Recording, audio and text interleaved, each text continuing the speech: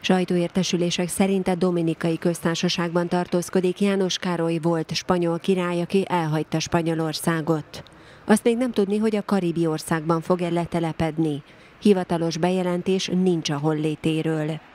A spanyolokat megosztotta a volt uralkodó távozásának híre. Mindenkinek megvan a véleménye a királyról és a pénzről. Jobb, ha távozik. Nem tudom, mit fog csinálni, de jobb ez így. Nem tett jót az ország imázsának, vélte ez a nő.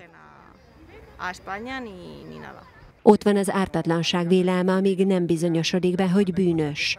Könnyű ezt vagy azt mondani, de én inkább nem mondok rá semmit, mondta ez a férfi. Döntésével fia államfői tevékenységét akarja megkönnyíteni. Ezt írta a volt uralkodó, nyilvánvalóan a június elején a spanyol legfelsőbb bíróság által ellene indított vizsgálatra utalva. Amióta a vizsgálat megkezdődött, találgatások jelentek meg arról, hogy eurómilliókról lehet szó.